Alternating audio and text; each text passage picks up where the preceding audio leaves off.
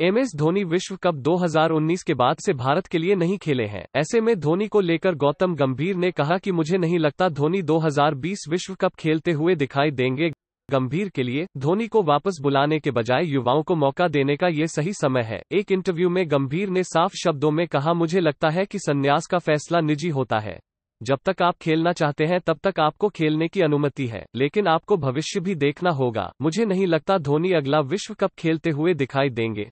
तो जो भी कप्तान, तब, विराट या कोई और है, उसे इतना कहने की हिम्मत होनी चाहिए कि यह खिलाड़ी चीज़ों की योजना में फिट नहीं हो रहा है।